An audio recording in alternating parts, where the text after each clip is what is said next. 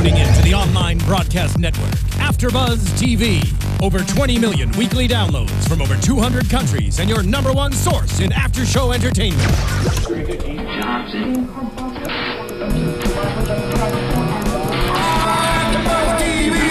TV, the destination for TV superfans, producing after shows for over 300 of your favorite TV shows, interviewing celebrities and showrunners, and bringing you behind-the-scenes exclusives. All thanks to E Entertainment's Maria Menounos, producer Kevin Undergaro, and internet leader Akamai. Now, let the buzz begin!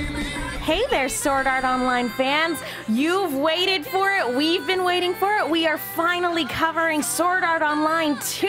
How are you guys doing today? So good. I am so happy that we're out of season one. We're past we're past it and now we're on to something entirely new and I am so so excited for it. Joining me on the panel today is Katie Cullen, Hi, all my buddies. Tauri Miller. Liz Rishmawy unfortunately couldn't join us today. She's not feeling well. Please tweet her your good well wishes. I'm your host, Megan Salinas, but joining us in the studio today is our very, very special guest, Tony Swan. Swanton? Is that how Uh, you Swatton. It rhymes Okay. with rotten. Swatton. I am so sorry because I can't pronounce anything. I apologize. But you might recognize Tony. He's worked in the uh, he's worked in the entertainment industry for years and years and years. He's made some of the most recognizable weapons in like all of entertainment, and uh, from Man at Arms, and he has a store in Burbank. How are you doing today, Tony? I'm doing great. It's a great Sunday afternoon. It is. Tony has made again. He's he's made a bunch of remarkable, really awesome weapons, which we have some of which here in the studio with us today. Elucidator is just one of many. Uh, the Keyblade is another one, and we will we will talk to Tony a little bit more about that uh, when we get to the interview portion of the show, uh, because I am so excited. I don't know if you guys can see from that top, but he does some spectacular work. Thank These are all much. real. They're all in studio with us. Yep. And we are using the most restraint I think we've ever used here in the studio before because these are just gorgeous. Yeah. Thank you. So let's go ahead and just jump into this episode um, so we can talk to Tony about these beautiful pieces of art that are in front of us right now. We've got two episodes for you today The World of Guns and Ice Sniper, or Cold Hearted Sniper. I don't know. It's just the names that were on the wiki. Translations. yeah, now that we're not really in the English dubs anymore, it's it's a little bit it's a little bit of a different viewing experience for me personally because I just watched through the dubs. yeah, I have to actually look at the st- at the screen instead of multitasking while we watch. How about you? Tar- I know you watched in Japanese before, so this is probably just a return to form, huh? Yeah, basically, like I, I, I like the original Japanese voices a lot. Um, I feel like they convey a lot of really genuine emotion. Um, I mean, not to say that the dub didn't, because they did an amazing job on the dub as well. It's just, it's like returning home for me. It's like, oh man, you sound so nice. Well, and it, it's just you know a lot of people's preference with whatever um, version of the show they like, whether it's the dub or the sub. It's usually whatever they watched first, Right. unless you watched it when you were like a tiny child and had no discerning taste. Yeah. And then you watch it again as an adult, and you're like, yeah, no, the Japanese was better. but anyway, let's go ahead and jump into the world of guns. Uh, we're in a year after the SAO incident wraps up, which I imagine would probably be about 10 months after the events of ALO, maybe, give or take. But it's been about a year since the end of the pre- previous season. And we are in one of the many MMOs that has been created uh, due to the World Seed, and it is Gun Gale Online. And we are watching kind of the winners, the winners wrap up show, which how weird and meta is that, that you're in a virtual world and you're watching TV within that virtual world? It's kind of odd. It really is. And that they immediately go into, well, if you do this stat, then you can do this. But if you leveled up this way, it no longer works because of this. And, Yeah, you- and Megan said it best. I know they're speaking another language, but they're speaking another language.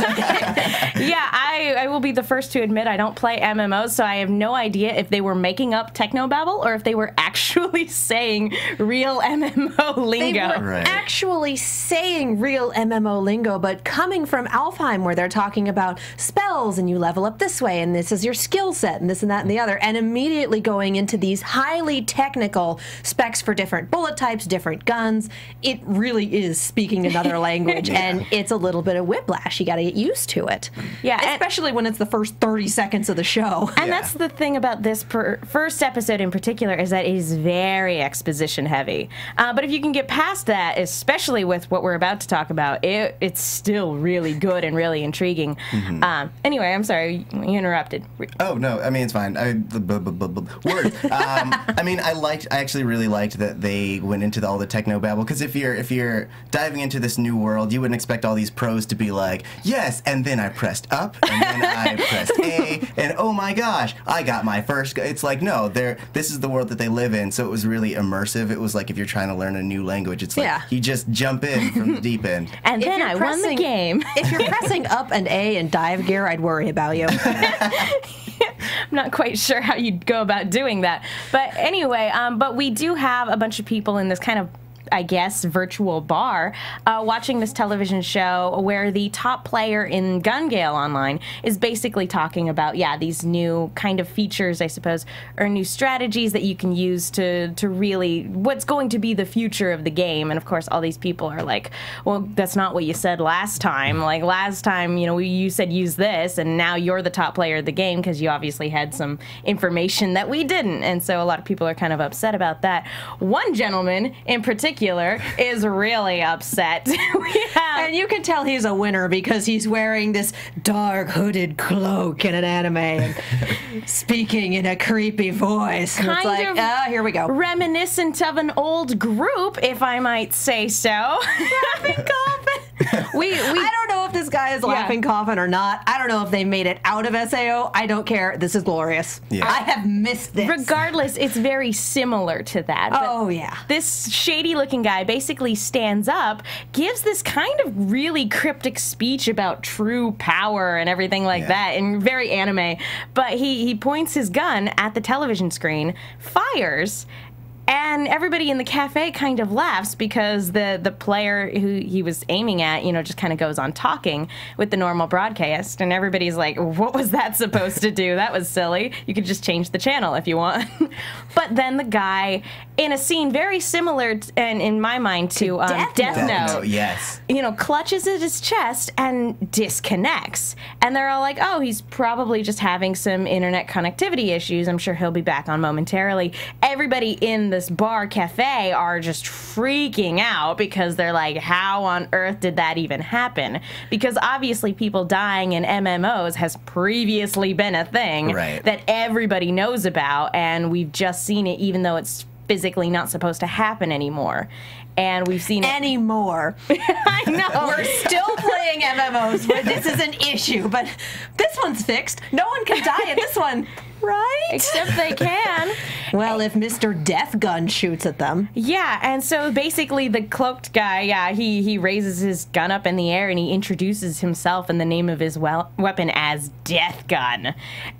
And that's the opening of this particular season. I worry about people who share names with their weapons. That never goes well. It really That doesn't. never goes well.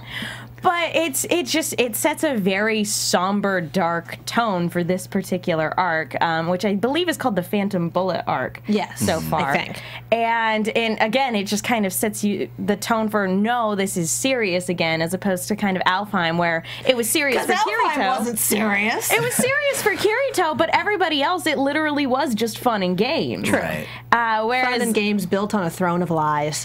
pretty much.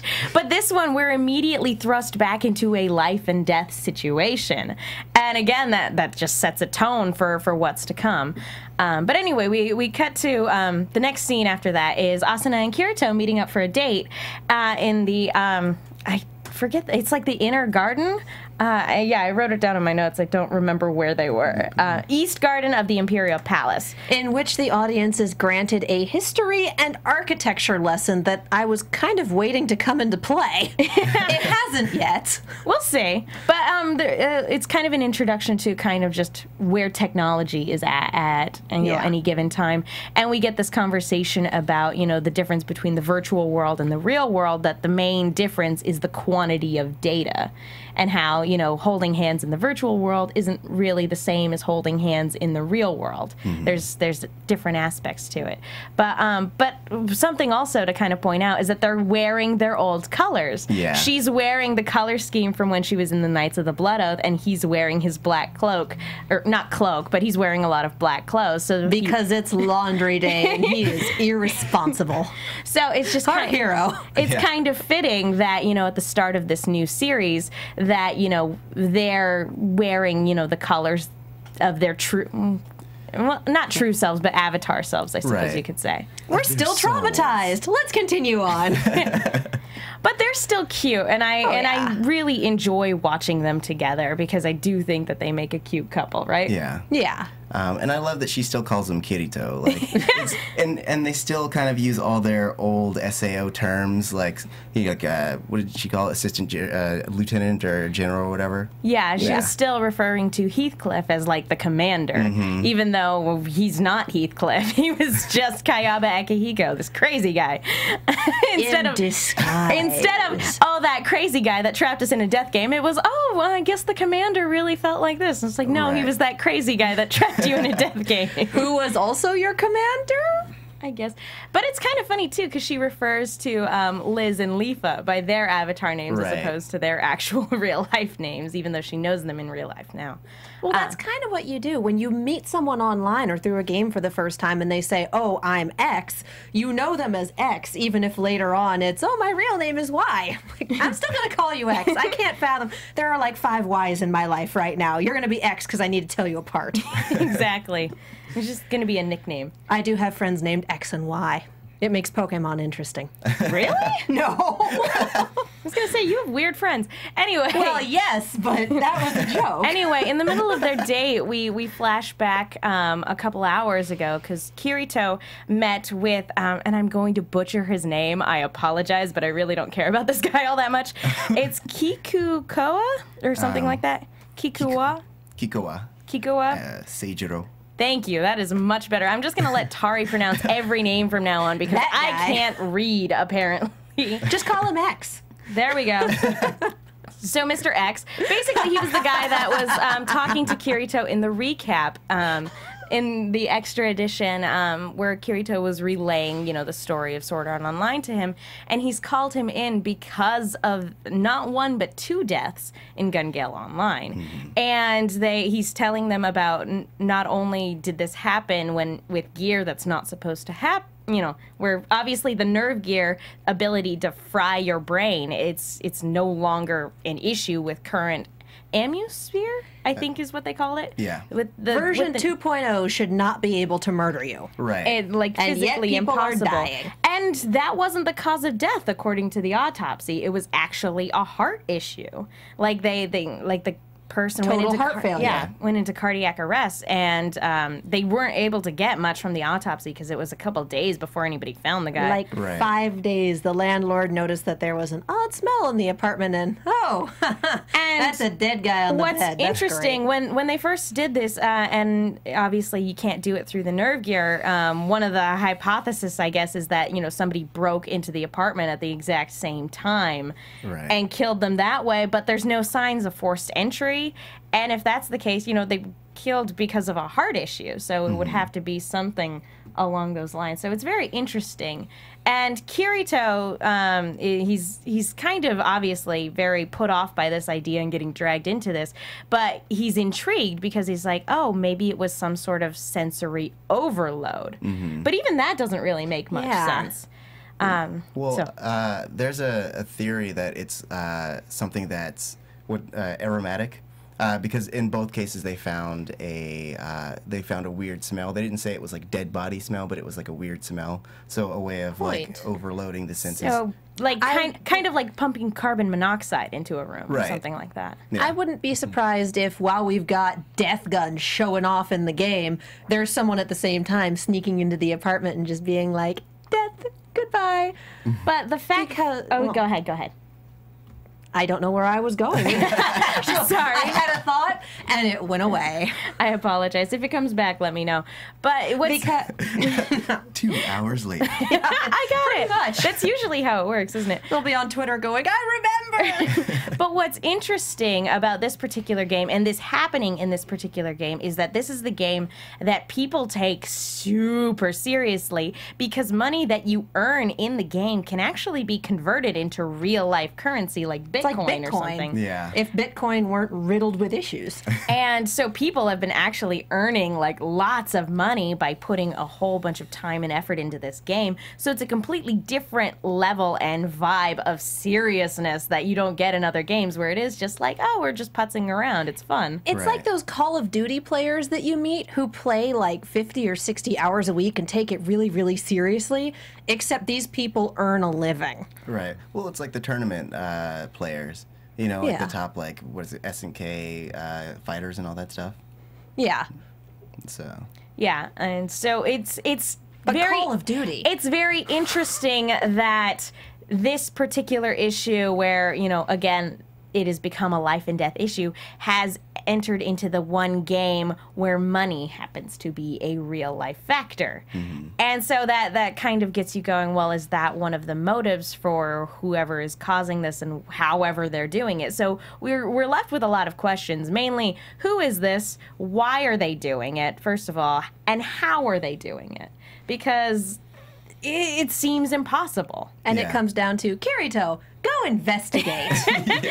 And Please put your life on the line in another death game. and Kirito doesn't want any part of it, mm-hmm. but the guy is basically offering him money as an incentive. He's like, you'd be considered a consultant, you know, you would get a fee for being able to help us. Wasn't it like 200k or something? I, I don't recall Yeah, how much it was, but it was definitely enough to make Kirito pause and go, I could order another pie for sure. like that All the cake in the world. And since they had been talking, he and Asuna had been talking about their future together. That's kind of a big deal. If you are, tr- you know, contemplating a future with somebody, money is obviously always a huge factor. If they have money to like continue on with their, you know, to start a life together, that's pretty good incentive. yeah. And he, Provided that he survives. and he he thinks about telling her um, when we cut back to their date. He thinks about telling her, but he kind of holds off a little bit. And uh, then we actually get a scene within Gun Gale Online, and we're introduced to a new blue-haired sniper character named Sinon, and she's just taking aim at this one at this party. And she, it looks like she takes this guy out, and that's where the first episode ends. And I am immediately intrigued by this girl because I, I thought from all the promotional artwork that that was Kirito's avatar in Gun Gale Online. She's too competent. But she she is interesting knowing now that that's not her that that's not actually our main character. I'm intrigued. I'm like, who are you? Where did you come from? You are obviously very good at what you do. I, I want to know more. You're in the opening theme. You're either going to play a big part or you're going to die early for the purposes of trauma. I don't trust opening themes in this show. Sword Art Online openings have taught us anything. Oh. anyway, before before we move on, I want to talk to you guys really quick about iTunes. Uh, we we here at AfterBuzz, we really appreciate all the comments that you guys do. We read the comments on iTunes. We read the comments on YouTube. It really helps when you guys go to iTunes, you leave us a rating and you leave us a comment. It makes us more searchable. It lets our bosses know that you guys think we're doing a good job, and it warms our hearts. We really appreciate you guys let giving us your feedback and letting us know what you think. So thank you guys. All right, let's move on to the next episode. because Rate we us got- five stars because we love you and you love us. Yes, all of that. Let's move on. We've got a lot to get through for this next episode. Um, so basically, we open up this episode. It's actually the past, and we see how um, how Sinon has obtained this really impressive. Uh, it's called the PGM Ultima Ratio Hecate. Two They sniper named a rifle. gun after the goddess of witchcraft. This thing had better be amazing. And yeah, it's it, they to, the fact that they've taken time out of the series to go back and show, hey, this weapon is a big deal. It's kind of interesting. Um, and again, we still don't know anything about this character, about who she is, or, or kind of what she's doing within this game. But the fact that she, you know, uh, the the series went back to take time to be like, look, this is important. It's kind of a big deal. Um, so anyway, we we cut back to where we were right before where the last episode um, left us, and she's with a a squad of PvP. Um, yeah, a PvP. P, ah, PvP squadron, if I could actually talk. See, I am Yeah. just all over the place today. Um, but they're basically waiting to ambush another group and assassinate the the main the main threat because that one person has live rounds, which is the most detrimental to to them and their kind of defenses. So they're going to take out that guy, and it's her job to do that. And we get a little bit from them. We find out a little bit about the game, and we find out very very little about her. Basically, all we really find out is that she's not really a part of this group. She was kind of brought in um, to kind of help them with various things. She's a mercenary. Exactly. And that she's not really comfortable talking about who she actually is. And again, that's just, it's very intriguing. It's like, I want to know more about you. I am very interested in what, you know, what you're here for. Mm-hmm. And it's it's very interesting. I, she's so mysterious. I want to know. She's like 10,000% more interesting than Kirito. Well, here's Let's the be thing: she is ve- she is basically a female Kirito, but because of the way the story is unfolding, with because Kirito was the same way. He's this very powerful player, but we weren't given a whole lot about him, and that was sort of unfold. You know, it unfolded slowly. And with her, it's the same thing. She's basically a female Kirito because she's very powerful, obviously, and very competent and stoic, or at least at least damaged in some way Yeah. and and but we don't know anything about her and so it'll be very interesting to see how and how that goes about unfolding and how long it takes before we find out what her motives are Yeah. And her potentially traumatic backstory because she's obviously got some traumatic backstory coming from somewhere. yeah. Wh- as she's taking aim she makes reference to um, the way she feels and uh, reference to that one day and it's like well what happened that one day and in the opening we see not only not only her avatar but we see a smaller version of her you know as she's kind of sitting on the swing and it's again that just raises a lot of What questions what happened to you? theory is she are was stuck in SAO and her parents were too and her parents died. Yeah. That's my theory and I'm sticking with it. I, I think that's a sound theory it would explain her motivations for wanting to be really strong but anyway Maybe they were killed by Laughing Coffin. Oh. no spoilers in the comments section please Laughing Coffin being the murder guild from the first game. Yeah. yeah Yeah. Anyway, so um, we we the squadron that they're that they're waiting to ambush comes up, but they have a new player, a guy in a cloak, and so immediately Is it no- Death Gun? Exactly, it's one of those things where it's like, is it that guy that you know infamously killed a couple people just that one time?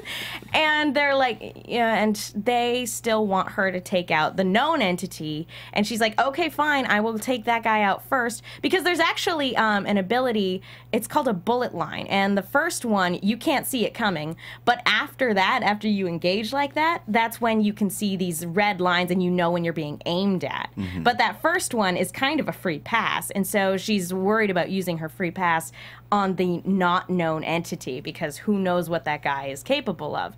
So she takes out the guy she was assigned to take out and then takes aim at this new guy and he dodges it. And then uh, and a firefight ensues between their squadron and her and her squadron and it's pretty spectacular to watch. Yes. It's I, I don't feel like I'm watching Sword Art Online with this. I feel like I'm watching like some sort of Mad Max like dystopian future where, you know, guns are the way.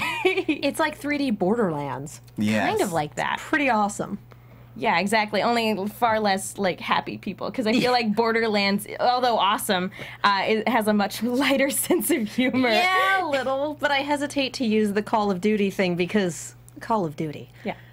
Sorry, what were you gonna say? Um, it. I mean, it's it's it, everyone else is light except for her. Like she's the only one who's taking it like insanely seriously. Like even when she has that moment with the what is his name, uh, dying. Yeah. Um, and he's like, whatever, we'll just log out. And she's like, no, we're staying here. Never give up, never surrender. if you're going to die in the game, at least die, you know, while you're facing down the barrel of a gun. And he's like, oh my gosh. Calm down. going. Holy cow! Calm down, the little reason girl. this has gone so badly for them is that the unknown entity is a guy with a minigun. Yes. It's huge. Yeah, and we find out that lie. we found out that he is not actually Death Gun. He is Behemoth, and he lives up pretty to his name. Yeah.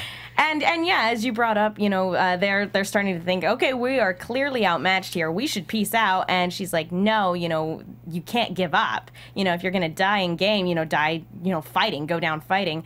And that's what they do. They continue to engage and actually Dyne. I, yeah, I Yeah, think that's how you pronounce it. Um, he actually does just that. He runs forward and he ends up getting killed, but he ends up being able to set off a bomb in the process. And so she uses that cover to go and get a better vantage point so that she can take this guy out. Well, unfortunately for her, he was able to see exactly where she was going. And so he starts taking aim. She jumps off the, um, it was like a clock like a- tower yeah. or something. Yeah. She jumps off, and as she's falling to the ground, she loses a leg, but continues to shoot at him, and and Gets him. manages to take him out. And it was, it, first of all, this was just glorious to look at because Yeah. it was just gorgeous, and and I am Are we so sure excited. she's not our main character? Are we sure? I kind of wish she she be? was. Go ahead, Tauri. Sorry. My like my first thought was she's awesome. How long do they put her in a cage? Oh. oh. Yeah, no, yeah, that's that's the thing is after especially after that particular scene, I I was blown away with how great it looked and how intrigued I was with this character. But I and I was excited for the first time in this series for like since the Eugene fight. Yeah. I I was genuinely excited and then I yeah, it started to think is like the most uh, the most the most critical you know, assessment I have of SAO is that it doesn't live up to a lot of the potential that it has. That's one of the, my biggest gripes about this series. And so I'm aw- I'm afraid because right now there is so much potential and I just don't want to be disappointed like I was with the ALO arc. right. Though I mean, Disappointment is not the word I'd use. our commenters say that she like you know she, it's a good series. I'm gonna trust them and hope that like nothing disappointing happens and it. Well, it's still going on. They don't know what Endgame is for this Uh, particular people series. who've read the light novels might. That's true. anyway. Steven over there is raising his hand in the booth. Oh yeah, Stephen Lemieux, our booth guy. He's a hardcore SAO fan, and he knows what's up. Anyway, No spoilers. No spoilers, anyway. commenters. You're But usually anyway- very good at this. Anyway, we cut back. Um, she logs out after she's taken out this guy, and we see that it's a young girl, and she just kind of is lamenting to herself that she needs to get stronger. And then we cut to, um, meanwhile, in Alfheim Online. Back at the ranch. And we have Liz and Leafa and Silica fighting bosses so that they can get materials for um, for Liz to create new swords and everything like that because that's what she's good at. And of course, Kirito and Asuna are just kind of hanging out, and it's fun hearing them like gossip about like, oh, they're all over each other all the time. Oh my gosh. They even do this at school, and Leafa gets this what? poor they do what?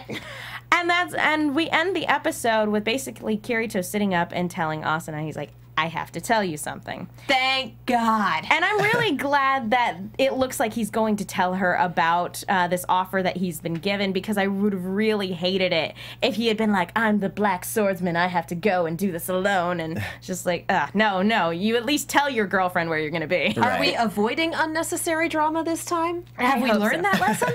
The other thing I'm afraid of uh, is that the characters that I know and love have been relegated to cheerleaders. And I, I don't want that. I, I don't know if that's where the series is going, but that's kind of what the opening hints that they're going to be. I choose to look at it the same way I looked at the lack of Klein in the second half of season one. He was not dumb enough to go back in. Right. Nobody just- in this group, Kirito aside, is dumb enough to go into Gun Gale Online when people are dying and it's a hardcore shooter game. They're just like, nope. They're Yeah. just I'm yeah. staying in the land of fairies. they're just gonna stay where they know they won't die of cardiac arrest. yeah, pretty much. Uh, I'd like to think that it's gonna be the Sao high that we wanted. Oh, that would be Great. great. Yeah. I'd Sword like Art that. Online High School. Anyway, so that basically wraps up the second episode. And now, Tony, thank you so so much for coming in. Um, I I really obviously you do amazing work, and we have Elucidator there at the far end, which is Kirito's sword from uh, from the first season. Oh my gosh, that just looks beautiful. Man, is that pretty. Yeah. Tell us a little bit about the process of this of creating this particular sword. Well, this sword is uh, created out of 1075 spring steel. Uh, we cut it out on a bandsaw and then used a plasma cutter to cut out the inside and shaped everything with a file. And then the outside has been, uh, after heat treating and uh, tempering, I've polished off the edge and uh, these elements here for the pommel and the hilt and the cross on the center has been uh, chemically blackened with a uh, black oxide. And then we polished everything out and did the nickel silver kind of cross button on there and the emblem on the side and riveted everything together and chopped stuff up with it. It's a beautiful piece. Thank you. It is. Ah, so for for this particular one, I, ah, gosh, how did I? I know that I we watched the Man at Arms episode. Um, which parts had to be outsourced? Uh, this one, uh, the, the only outsourcing really was uh, to send it out to get it uh, chemically blackened for the black oxidizing. Uh, the place that does it is a bit like where the uh, the Riddler or Joker, whichever one, fell into the vat of acid. There's these giant bubbling vats of acid that, you know, uh, junk all over the floor. I mean, so we bring it in there and they immerse it into these uh, these vats, and it uh, changes the color of the metal, and then we polish off the edge. Nice. It looks absolutely amazing. I Would think you? we're all just in awe right now. Yeah. Would you be mad if maybe that sword disappeared at some point? I, I, yeah, I'd be a little mad. Probably, yeah, so, Little But you'd forgive us, though. yeah. No. no, he's like, no. No. I'd use But- one of my other swords. Obviously, you've been working in the entertainment industry and you've created some of the most amazing weapons that we've mm-hmm. seen. When did you decide you wanted to be a blacksmith? It just kind of happened. Uh, I started my uh, business when I was 15 years old. Prior to that, I was cutting gemstones and making jewelry, and uh, I started making knives and swords and suits of armor. And uh, it went from there. Uh, when I actually opened up a retail shop in 1988 in uh, North Hollywood, uh, one of my first jobs was making armor for Michael Jackson for his tour, as well as uh, he wore it to Elizabeth Taylor's wedding, and it was on the cover of People magazine. Wow. And then I made the hook for the movie Hook, and from that point, uh, word of mouth just generated enough business that uh, I was al- always busy with film and television and so forth. I've, I've worked on over 200 movies. Yeah, no, and uh, especially we uh, we got to go to um, see uh, some um, your What- shop in Burbank, Yeah. and it like you have it on display there, the hook, and it is so gorgeous and just so intricate. Yeah, that was a, that was a real fun one. That was built in 1991. But uh, my shop, The Sword and the Stone, is open to the public on Saturdays. So most Saturdays, unless I'm doing something. I was recently creating armor at the Getty Museum in uh, on the top of the hill in L.A. Uh, so you know, at that point, the shop wasn't open. But uh, you're welcome to come in or look me, look me up online at www.swordandstone.com and see some of the things. But uh, I have the cases of the weapons, of the 39 weapons I made for Man at Arms uh, on display, so you can see all these pieces. Uh, generally under glass, you're not going to be able to handle them. um, and other pieces that are, you know, iconic pieces like the Hook or Jack Sparrow's sword or Conan's sword, stuff like that are actually on display at my shop. What's one of the more difficult pieces that you've had to make, and what made it difficult? I don't know. They're they're always a, a complex kind of build. You know, I have to figure out the processes involved in making it, uh, depending on the details going into it. And uh, people always ask me that what's you know the most difficult or more uh, challenging. And the most challenging thing I get is the turnaround time. Uh, when I was making these weapons, I did six and a half seasons of uh, Man at Arms. I'm actually uh, finished with that right now. We'll probably be doing another show in, upcoming soon. But um, I made each of the uh, six weapons over a five-day filming schedule. So you normally, when a uh, production contacts me, I need six weeks to three months to create something that elaborate. And we have pieces, you know, like the Sword of Omens here from uh, Thundercats, or um, you know, some of the other elements that I've made that are just major undertakings. Uh, Longclaw's sword from uh, Game of Thrones I made is 45 separate pieces of steel forged together to make the composite blade to show that little snake pattern down the middle of the fuller on it. Wow. So uh, that one we actually started a little bit earlier to create that. And uh, then we have the other uh, processes where we have to sculpt and mold the, the hilt and pommel elements and then uh, burn those out and cast them, pour molten bronze into it. Um, that's a three day process alone, just with the, uh, the molding and everything. So Dang. it gets a little, little crazy. I would imagine. That's incredible. What's a typical day at the shop like? Because I imagine you get people who just light up when they come into the store. Uh, well, my showroom, like I said, is open on Saturdays. But uh, for me at the shop, um, you know, I start out and uh, I'll go back there, generally create some swords. I mean, in the last few weeks, we've created a stainless steel armor that happened not to be used for the Video Music Awards for MTV, um, which was like a three day build. It was a beautiful piece, but it may show up on tour. We also, at the same time, created a, a, a copy of Joffrey's crown from Game of Thrones that uh, Adam Samberg wore at the Emmys. Uh, you know, when uh, Weird Al Yankovic, and um, I'm trying to think of what else was going on there. But you know, this is all happening concurrently. Um, I need to go back uh, this evening and uh, make uh, three swords for uh, Sleepy Hollow to ship out to North Carolina tomorrow morning. nice. Steven popped up in the booth. Sleepy Hollow.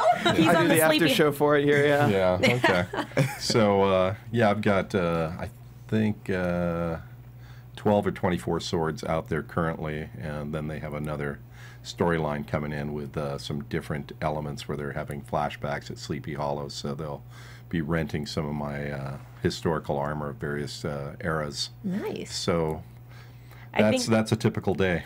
I think our booth guy is geeking out there.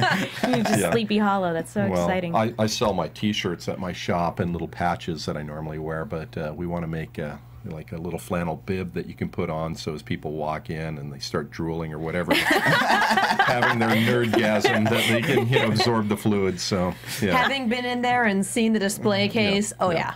Definitely, for sure. Uh, obviously, you've worked on so many different things. Do you? I mean, I know it's probably impossible, but do you have? eh, Are there any projects that stood out in your mind that you're like, that was my favorite to work on? Uh, you know, uh, there's been a, a couple that are really fun. Um, we did a lot of stuff for Thor, and uh, we actually made a 39 inch tall Infinity Gauntlet with actual gemstones set into it. Uh, that was a six week process with uh, probably 12 to 15 people working night and day on it, um, whenever that was a few years ago. Um, it had a nanosecond exposure during the first Thor movie that we, you know, it was just passed, and, you know, and the Asgard thing, and that was a really fun project to work on, and I'm hoping it actually shows up in more of the Marvel universe. Um, It will. Yeah, considering that this is what Avengers 3 is supposed to focus on, I'm, Right. I'm pretty sure that will come back in spades. Yeah. Well, you know, is it, in that point, they're supposed to be wearing it, and um, this is over three feet tall. I mean, Oh, true. uh, so the you know, it's a it's a pretty massive piece. Just kind of wear it like yeah. this. Just drag it on the ground. I don't think this is what this was designed for. I have power. I can't lift it, but I have it. Uh, yeah, the other things is uh, I've been contacted a lot lately by a lot of the uh, video game companies. Um, in Man at Arms, I've taken weapons that they've designed that showed in their games. They're very elaborate builds that don't exist except in the game. So I, I'll take those and make it real. And so uh, they're either getting it for their convention uh, showing. Um, like we did with uh, Riot for uh, replicating the uh, Katrina's uh, Zenith blade from League of Legends. That was shown at Anime Expo, and uh, you know, doing some similar stuff for them, and you know, possibly some things for Blizzard and some other companies. So. So, have you been uh, have you been hitting up the convention scene for very long, or is that more recent? Uh, I've been going to Comic Con for over 12 years. Uh, I used to have a booth there. It was set up like a medieval castle, like my showroom walls are actually the, the castle from Army of Darkness. So when you walk in that there, what that was? Yeah, all the rock walls in there. So I, That's her second favorite movie ever. Right. well, I, I was working on Hook at that time, but they wanted me to do the evil Ash hand at the same, you know, same point, and so I, I had to decline that commission. Oh, that's a bummer, but Yeah, still, that's yeah. really cool. So my my uh, booth at Comic Con was those rock walls and various suits of armor that we had on display and weapons and everything. And pretty phenomenal booth babes walking around in some of the armor that I made. So uh, I think that was more of a distraction. We didn't make much sales, but we got a lot of interest. Really, you think you did? You're like, I'm not. It's hard to focus. What did? What? What are we here for again? I don't remember. well, you, you got 12 people deep trying to get to the booth to take pictures with, you know, a beautiful girl wearing a metal bikini, but they're not spending any money. so we realized that that wasn't a good thing. So I stopped uh, having a booth at Comic Con, but I still go out there and, uh, you know, some of the other local conventions. Every now and then. Yeah. Um, do you hit up? Uh, I I imagine just um, your obviously services would probably be solicited by a lot of different sources. Do you go to Renaissance fairs, or is that kind of something that you just don't have time for?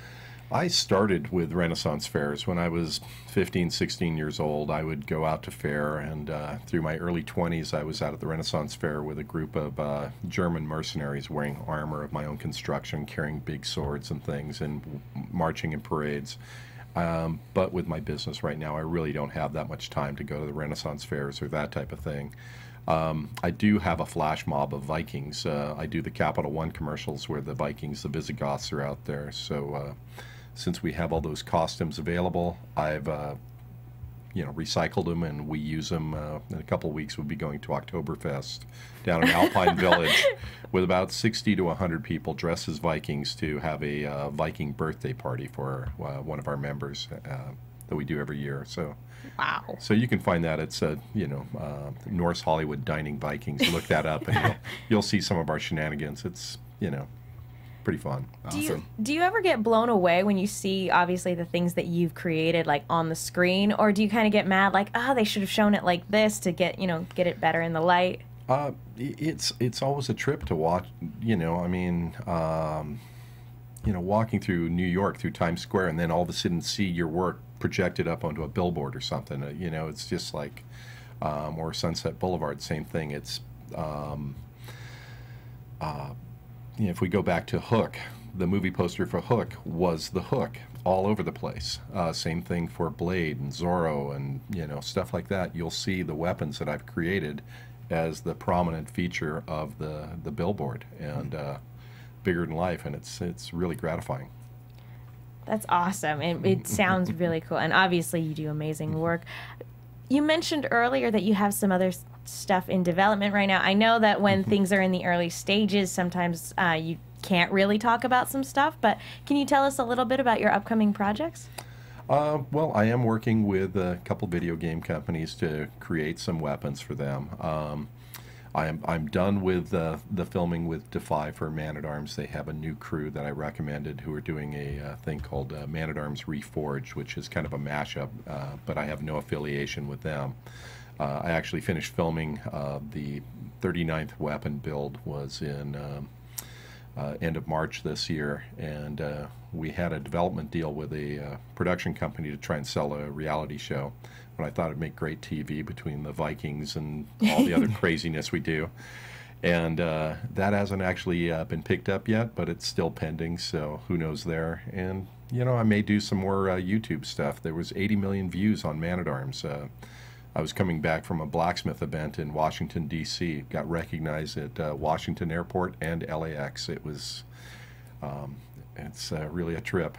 So, Well, thank you so, so much for welcome. coming in. I, I'm afraid we're running a little bit short on time today. Uh, we got started a little late, but thank you so much for coming in. Where can people go online to find out more about you and about the amazing work you do? well, my website is www.swordandstone.com. Um, you can also see the uh, Norse Hollywood Dining Vikings on Facebook and find me on Facebook for Sword and Stone or Tony Swatton. That's S W A T T O N. And uh, you can Google me and see a lot of things. I've done uh, armor making tutorials with Stan Winston School of Character Arts. That's online. Um, I, I don't know. I, I did a Google search the other day and it goes for like 30 pages. So there's a lot of stuff you can find out. That's awesome. Thank you so, so, so much for coming in. Tauri Miller, where can the people find you? Uh, you can find me on Twitter at Tauri J. That's T A U R I J A Y. Uh, you can also find me on uh, the Doctor Who's Classic panel on Wednesdays and the upcoming Legend of Korra panel. Uh, you can find me on Twitter and Tumblr at Kiaxet. That's K I A X E T. I am also on the Attack on Titan and Z Nation panels on Sunday, Classic Doctor Who and upcoming Arrow on Wednesday, and RWBY every other Thursday. We will have an episode this week. Yay! I'm Megan. You can follow me on Twitter at the Menguin. That's T H E M E N G U I N. I am on most of those shows. Uh, Everything but Arrow. pretty much. Again, Tony, thank you so, so much for coming in today. This was a huge treat. Thank you guys for watching. We will see you guys next time. From executive producers Maria Menounos, Kevin Undergaro, Phil Svitek, and the entire AfterBuzz TV staff, we would like to thank you for listening to the AfterBuzz TV network. To watch or listen to other after shows and post comments or questions, be sure to visit AfterBuzzTV.com. I'm Sir Richard Wentworth, and this has been a presentation of AfterBuzz TV. Buzz you later. The views expressed herein are those of the hosts only and do not necessarily reflect the views of AfterBuzz TV or its owners or principals.